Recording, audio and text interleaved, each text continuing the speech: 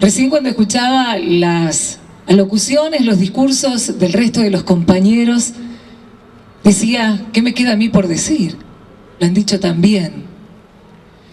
Y en realidad antes de venir por acá y pensar en tantas otras cosas, también me puse a sentir, digo, ¿qué es lo que digo esta noche?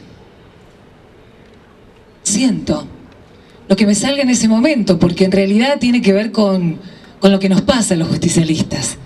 Lo dije la vez anterior, el justicialismo tiene esto, tiene esto de que uno puede hablar con el corazón, de que es imposible no sentirse orgulloso de un líder como ha sido Juan Domingo Perón, como lo ha sido Evita, como lo ha sido Néstor Kirchner y como lo es actualmente Cristina Fernández. Eso tiene el justicialismo. Tenemos a nuestros líderes, no solamente porque ellos se hayan llamado a sí mismos líderes, dirigentes, quienes conducen, sino porque la gente se fue acercando, fue creciendo, lo fue mirando y fue entendiendo que esta manera de hacer política es la manera que queremos los argentinos y que necesitamos. Y es cierto también que a veces uno puede decir, y la gente no se equivoca. No, la gente no se equivoca nos exige más. Porque solamente el justicialismo puede dar más. Y eso es lo que nos está pasando, compañeros. Nos está exigiendo más. Más política social, que estemos más en contacto con la gente, que los miremos a los ojos, que convivamos con ellos en las realidades que les tocan vivir al igual que nosotros. Estamos aprendiendo a unirnos más allá de las diferencias y sabemos de lo que es una construcción colectiva. Por eso la propuesta, por eso la seguridad que tenemos.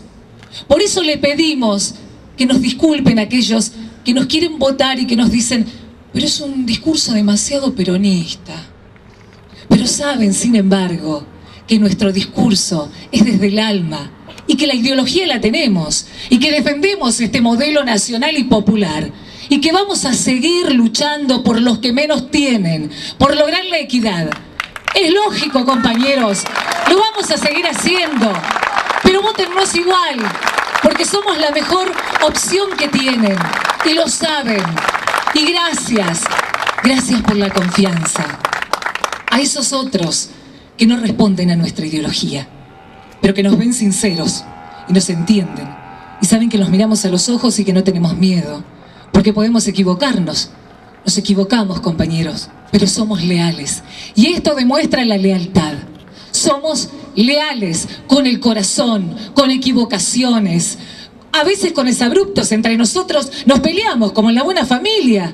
Uno se termina peleando, pero después vuelve el momento de la reconciliación, del abrazo, de que entendemos que hay algo que nos une.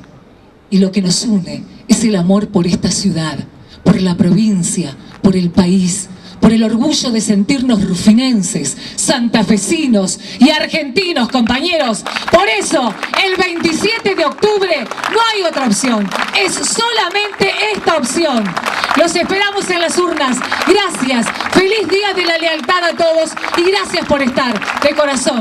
Muchas gracias. Patricia González.